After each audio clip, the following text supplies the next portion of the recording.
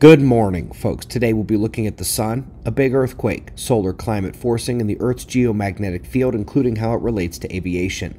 But let's start with our star. The coronal holes are crossing center disk towards the departing limb, and their solar wind is expected to arrive within 24 to 36 hours. We've seen only minor solar flares, and we're going to see why momentarily. We'll still be monitoring the incoming sunspot group on the north for eruptive behavior, but its activity over the last day actually makes it less risky for the time being.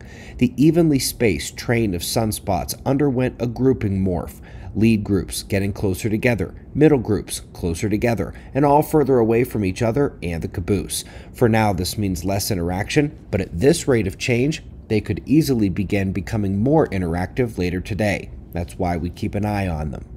There was only plasma activity at the minor level within the corona the last 24 hours, small eruption on the departing limb, surges from the northern incoming group, but just as it lacked considerable flaring, it lacked CME production in the Earth's direction. That snake like plasma filament on the south is under eruption watch as well today, since it is large and facing Earth. Let's go to earthquakes next, where California rings in top of the list. Overnight, a 6.4 earthquake. Several calls of gas leaks, power outages, and cracked roads are reported. Since it was happening overnight, we don't have the full damage or any injury reports, but thoughts are with them, and hopefully there's not many. Heading to the articles, we find this excellent paper on solar and geomagnetic forcing of the ocean temperature. The response to solar forcing dominates outside of seasonal variation and relates heavily to solar polar magnetic fields. This also implies that the weaker geomagnetic field we have in the ongoing pole shift has played a role in the heating of the oceans the last century, which in turn has a profound effect on the atmosphere. Speaking of the pole shift, we've seen several articles about runways being renumbered. The number of collisions has increased this year as well. And this paper from Romanian scientists details their need for much better monitoring of the shifts in the magnetic field for their aviation concerns in that country, as it frankly should be everywhere.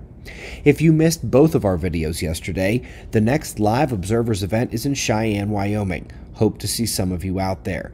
Tickets found below the video at the link, and if you missed last night's special video, we are hoping to do a two-week Blitz tour next year and would prefer to have the events at places owned by the observers. Restaurants or other event space is welcome. It's just a nice way to handle the meeting of observers in general. If you live in one of these areas and have such a place, email us today as we're planning to get this tour sorted out here in the coming weeks.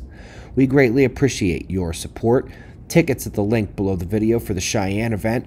Same for our websites, books, and playlists. Subscribe, and we'll do this all again tomorrow, right here, but right now at 6 a.m. in the new Valley of the Sun. Eyes open, no fear. Be safe, everyone.